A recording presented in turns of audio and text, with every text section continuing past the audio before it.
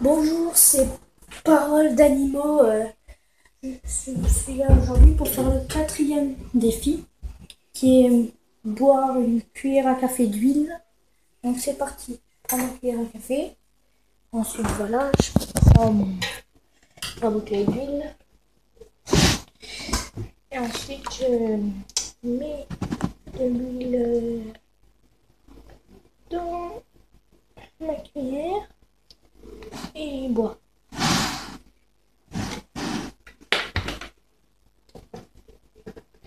Ah J'ai avalé. Ah, c'est Merci et au revoir pour cette vidéo. On va finir par mon pseudo stream.